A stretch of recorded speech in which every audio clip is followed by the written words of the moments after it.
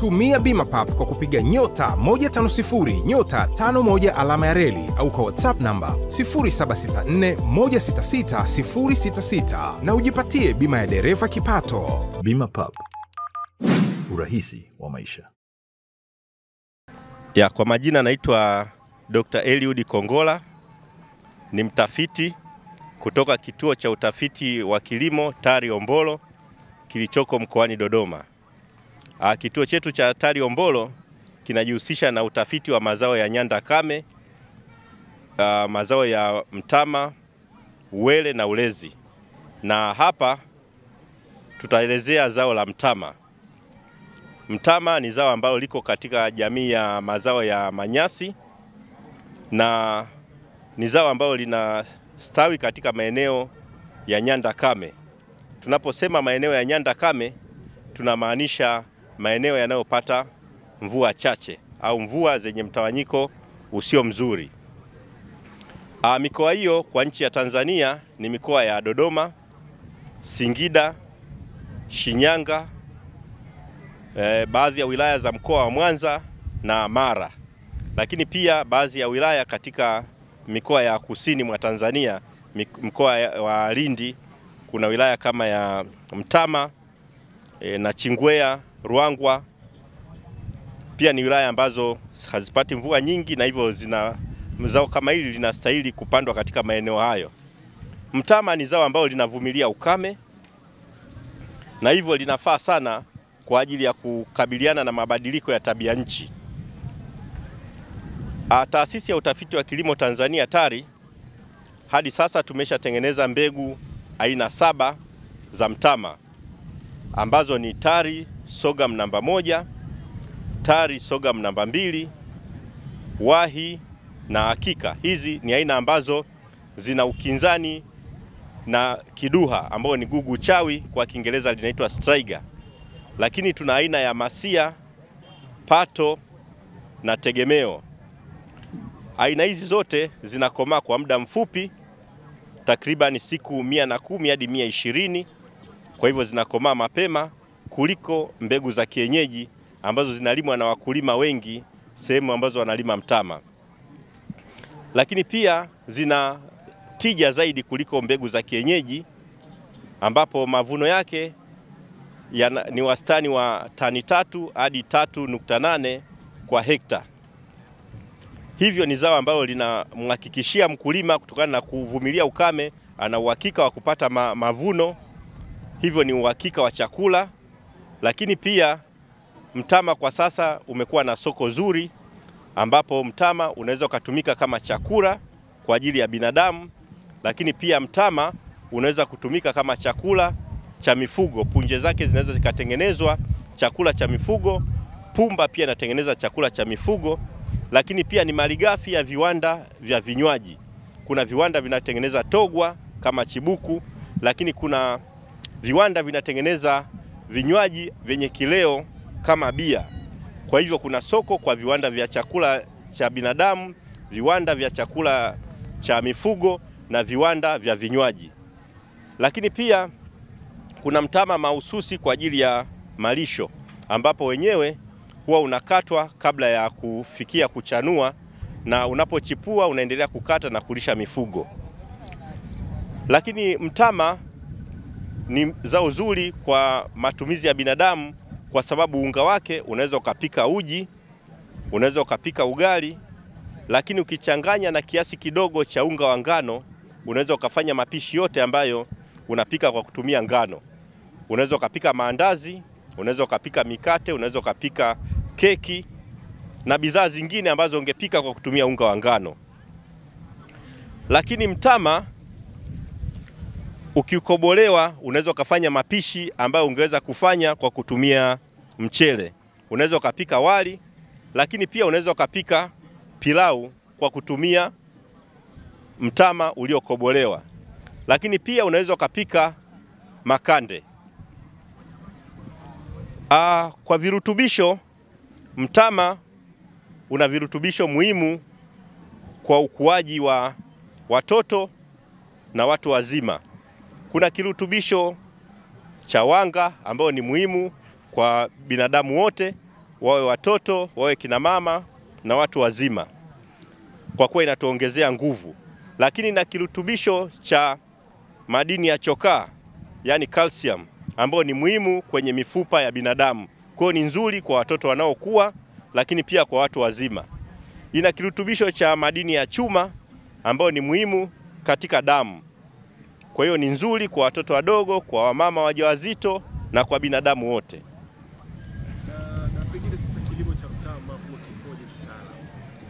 naona hapa umeweka wastani wa kama mita moja hivi kutoka mtama mmoja hadi mwingine, naona kama sentimita kumi tu thelathini kutoka mtama mmoja hadi mwingine kwenye mstari mmoja. Pengine kilimo chake huwa kikoje? Ah, Kitaalamu tunashauri mkulima anapoandaa shamba lake kwanza atifue shamba. Unapotifua shamba unatengeneza mazingira mazuri kwa uvunaji wa maji ya mvua shambani kuliko utaratibu ambao wakulima wengi wamekuwa wakifanya, wanasafisha shamba na kupanda na kuanza kuchimba mashimo kupanda mbegu kabla ya kutifua. Hivyo mvua inapotokea inasababisha mmomonyoko na maji mengi yanapotea kwenda barabarani badala ya kubaki shambani ili yatumiwe na mimea. Kwa hiyo tunashauri kwanza shamba litifuliwe. Baada ya kutifua shamba, tunashauri mkulima atumie mbegu bora. Na mbegu, tukisema mbegu bora tunamaanisha mbegu zilizothibitishwa na, na taasisi ya udhibiti wa mbegu Tanzania TOSCI na ambazo zilipitia mchakato sahihi wa uzalishaji wa mbegu na mbegu hizo wanaweza wakazipata kutoka taasisi ya utafiti wa kilimo Tanzania TARI, wanaweza wakapata kutoka wakala wa mbegu wa taifa ASA, lakini pia kuna makampuni ya mbegu ambayo yanazalisha mbegu za mtama. Aa, katika upandaji tunashauri upandaji ufanyike kutoka mstari mmoja hadi mstari mwingine zitumike sentimita 75 na ndani ya mstari kutoka shimo moja hadi shimo jingine ziwe sentimita 30, yani rula moja. Na baada ya kupanda, baada ya wiki mbili, mkulima anashauriwa apunguzie, aache miche miwili kwa shimo. Kwa kufanya hivyo, utakuwa na takribani miche 1088,888 kwenye hekta moja, ambayo ndio kiasi cha mimea tunayotarajia kwa kutumia hiyo nafasi ya kupandia kwa kuwa hiyo hilo ni jambo muhimu sana kwa wakulima, na ningependa kusisitiza kwa kuwa hicho ndicho ambacho kimekuwa kikiwaangusha wakulima sana, hawatumii nafasi sahihi za kupandia, kwa kuwa kila, kila suke kila mche una suke na kila suke linachangia katika mavuno. Hivyo unapopunguza idadi ya miche kwenye eneo, ina maana unapunguza idadi ya masuke na hivyo unapunguza mavuno. Kwa hiyo usipofata nafasi sahihi za kupandia na taratibu zingine za, za kilimo bora cha mtama hauwezi kufikia mavuno ambayo tunasema. Basi baada ya kutumia nafasi hiyo ya kupandia, tunamshauri mkulima pia wakati wa kupanda atumie mbolea ya kupandia ambayo ina kirutubisho cha phosphorus, kirutubisho muhimu kwa ajili ya kutengeneza mtandao wa mizizi ambayo itatumika kuchukua maji na virutubisho vingine kwa ajili ya ukuaji wa mmea. Na baada ya mmea kufikia urefu wa sentimita 45 tunashauri atumie mbolea ya kukuzia ambayo ina kirutubisho cha nitrogen kwa ajili ya kukuza mmea na kuupa rangi ya kijani kwa ajili ya kutengeneza chakula cha mmea na baadaye kutengeneza punje. Hilo ni swala muhimu, na tunashauri wakulima wapime udongo wao kabla ya kutumia mbolea hizo ili waweze kuweka kiwango sahihi cha mbolea. Na kwa sasa hivi kwenye halmashauri zetu serikali imeweka vifaa kwa ajili ya kupimia udongo, hivyo watumie huduma hiyo ambayo iko kwenye halmashauri zetu kwa ajili ya kupima udongo na kupata ushauri kiasi gani cha mbolea ya kutumika katika kupandia na kukuzia. Baada ya hapo, tunamshauri mkulima afanye palizi wiki ya pili hadi ya tatu baada ya kuota, afanye palizi ili kuondoa magugu, kwa kuwa magugu yanatumia maji na virutubisho ambavyo pia vingetumiwa na mtama. Kwa hiyo usipofanya palizi kwa wakati utapunguza uzalishaji kwa kuwa virutubisho vingine vitakuwa vimetumiwa na magugu kwa katika ukuaji wake. Na baada ya wiki tano hadi sita afanye palizi ya pili au anaweza akafanya kutokana na uotaji wa magugu. Kama shamba lina magugu, sio lazima wiki ya tano au ya sita. Shamba linapokuwa na magugu, ahakikishe ameng'olea yale magugu na kuacha shamba lake likiwa na mtama na wala si mazao mengine ambayo si mtama. Ah, tunashauri pia kama kunatokea matatizo ya, ya visumbufu katika shamba kama wadudu waharibifu au magonjwa, atumie madawa ambayo yamethibitishwa ambayo yanapatikana katika maduka ya pembejeo ili kupambana na wadudu na magonjwa ambayo yanaweza kuwa yamejitokeza katikati ya msimu wa kilimo. Ili, kutopungu, ili kupunguza upotevu wa mazao kwa kuwa magonjwa yanaweza yakaathiri majani, yanaweza yakaathiri punje na hivyo kupunguza uzalishaji, lakini pia kupunguza ubora wa zao lenyewe.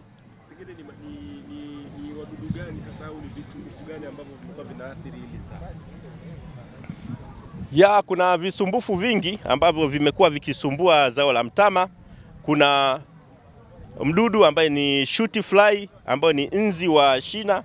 Yeye huwa ana, anashambulia mmea ukiwa bado mdogo, kwa hiyo akiukata, matokeo yake mmea ule unapacha na hautakuwa hauta, hauta, hauta vizuri kwa kuwa umeshambuliwa tangu ukiwa mdogo.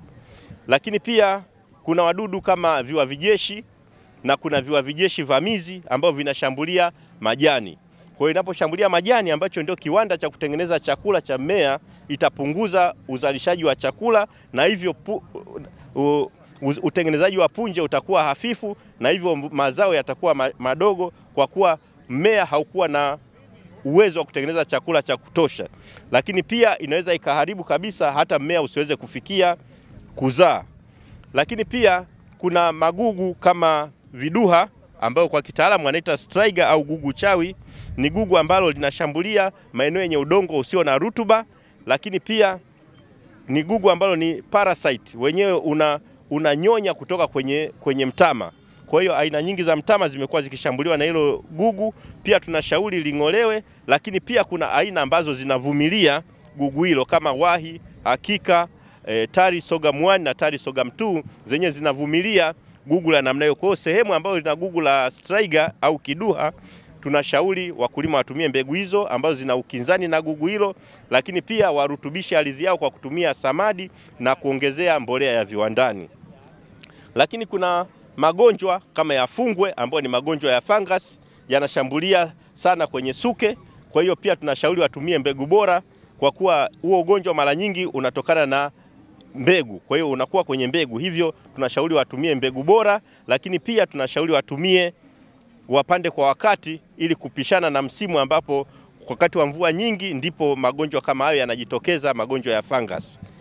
Lakini pia kuna, mago, kuna wadudu ambao wanashambulia mtama unapokuwa umevunwa na kuwa ghalani. Wadudu kama tembo na dumu, dumuzi wanashambulia sana, na tunashauri watumie madawa ya kuhifadhia eh, mbegu au punje. Madawa kama akteriki na shumba zinafaa kwa ajili ya kuhifadhia, lakini pia kuna mifuko maalum ambayo hairuhusu hewa, hivyo wadudu hawawezi kuishi humo. Pia mifuko ya kinga njaa au PICS wanaweza katumia kwa ajili ya kuhifadhia chakula. Lakini tunashauri mkulima anapovuna mtama wake avune wakati umekauka.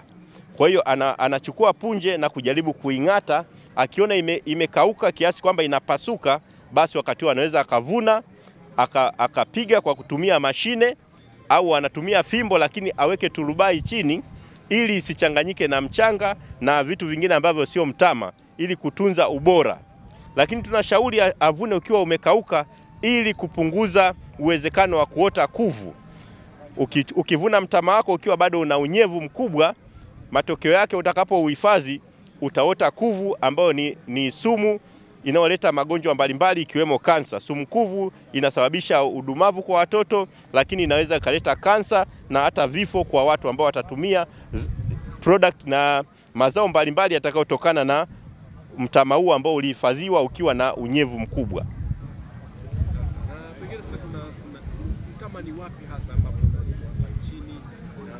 Kwamba ni mazao ambayo yanastahimili sana maeneo ya tuambie sasa ni maeneo gani ambayo yanafaa kulima kilimo cha mtama hapa nchini? Ya, maeneo ambayo yanafaa kwa kilimo cha mtama ni maeneo ya mkoa wa Dodoma, mkoa wa Singida, mkoa wa Shinyanga, Simiu, uh, wilaya za mkoa wa Mara e, kuna wilaya za mkoa wa Mwanza, kuna sehemu za mkoa wa Lindi. Hizo ni sehemu ambazo hazipati mvua nzuri na hivyo zinastahimi, zinakuwa na ukame sehemu kubwa ya msimu wa, wa mvua, hivyo mtama unafanya vizuri katika maeneo hayo.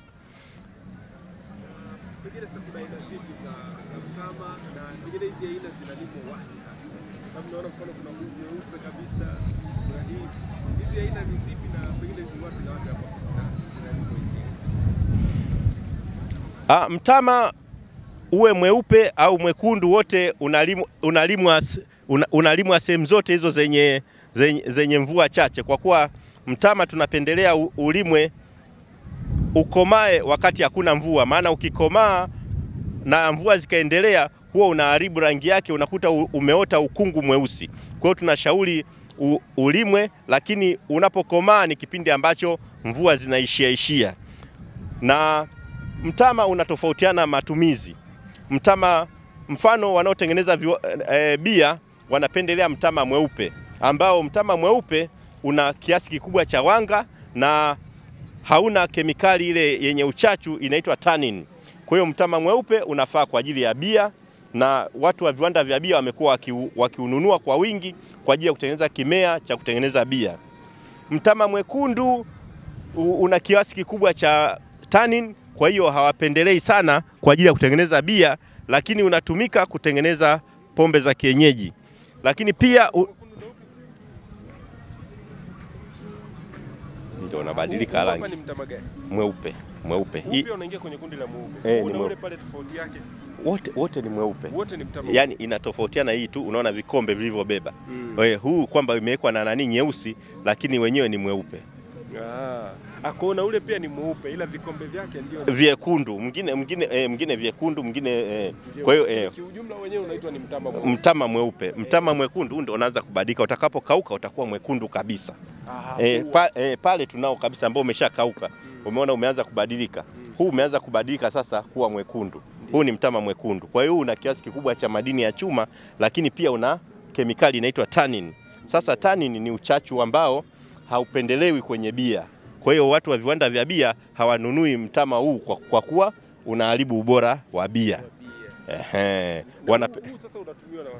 huu unatumika kwa matumizi mengine yote yaliyobaki. Unapika ugali, unapika uji, lakini pia pombe za kienyeji wanapika kwa kutumia mtama mwekundu. Ukienda maeneo ya Kondoa, Chemba, wanatumia mtama mwekundu unaitwa udo kutengeneza pombe. Na, na huu ambao unauona huku Mtama una... ni aina ya mtama au? Huo uwe- huo ni uwele eh, eh, mtama unaishia eh. Kwa hiyo na, na pengine haina, haina tofauti ya kulima mtama sehemu moja na sehemu nyingine kulingana na aina ya mtama. Labda kuna sehemu ambapo mtama mwekundu unakubali sana, mtama mweupe unakubali sana. Hapana, mtama sehemu zote zinazo zenye, zenye, zenye mvua chache mtama unafanya vizuri bila kujali rangi yake, isipokuwa kinachotofautiana ni matumizi na maeneo pia ya nchi. Kuna watu wa, mfano maeneo ya kanda ya ziwa wanapendelea mtama mwekundu, maeneo ya kanda ya kati wanapendelea mtama mweupe. Kwa hiyo baada ya e, taasisi ya utafiti wa kilimo TARI ina wataalamu wa uchumi na mambo ya kijamii, baada ya kufanya e, kuzunguka nchini na kuangalia mahali gani wanapendelea mtama gani, inaonyesha kwamba maeneo ya kanda ya ziwa, maeneo ya Musoma, e, Shinyanga wanapendelea mtama mwekundu, lakini maeneo ya Dodoma, Singida wanapendelea zaidi mtama mweupe. Kwa hiyo hata sisi tunapofanya tafiti zetu tunahakikisha tunapotengeneza mbegu mpya ya mtama tunaangalia tunalenga watu wa, watumiaji wa eneo gani. Kwa hiyo kama tunataka mbegu hiyo itumike zaidi kwa maeneo ya mikoa ya Dodoma na Singida, tunatengeneza mbegu nyeupe. Tunapotengeneza mbegu yenye rangi nyekundu, tunajua tunalenga maeneo ya kanda ya ziwa. Na, na pengine mavuno ya mtama huwa yapoje sasa kwa ukilinganisha labda eka moja pengine kikawaida kwa ile lepo ya kawaida kabisa Mm. mkulima ambaye analima kawaida atarajia kupata mavuno ya kiasi gani kwa, kwa heka moja ambayo amelima zao la mtama? Ah, mavuno ya mtama kama mkulima akifata taratibu zote ambazo tumeeleza, ameandaa shamba vizuri, ametumia mbegu bora, ameweka mbolea, amefanya palizi, ali- alizuia wadudu na magonjwa na akavuna kwa wakati na kutumia viwango ambavyo tumeeleza vya kukauka- ukaukaji, atapata kati ya tani tatu hadi tatu nukta nane kwa hekta moja. lakini kwa sasa wakulima wanachopata ni chini ya tani moja kwa, kwa ekari, kwa kuwa mbegu wanazotumia mara nyingi wanatumia mbegu za kienyeji ambazo zinakomaa kwa muda mrefu. Kuna mbegu zinachukua mpaka siku 180. Hivyo wakati zinatakiwa kutengeneza punje, mvua zinakuwa zimeondoka, zinatumia muda mrefu sana, lakini pia zina tija kidogo. Kwa hiyo mara nyingi wakulima hawapati hata tani moja kwa, kwa, kwa ekari kwa sababu ya matumizi ya mbegu ambazo sio bora na pia kutofata taratibu za kilimo bora cha mtama. Na soko lake sasa likoje? Sababu mara ya mwisho tulikuwa tunaona wananunua eh, NFRA. Eh, mm. Pengine soko lake sasa hivi likoje soko la, la? Sawa kabisa. Kwa sasa hivi soko la mtama lilivyo, kuna mpango wa chakula duniani WFP wananunua mtama kwa ajili ya kupeleka katika makambi mbalimbali ya wakimbizi, lakini pia wanapeleka nchi ya Sudani ya Kusini.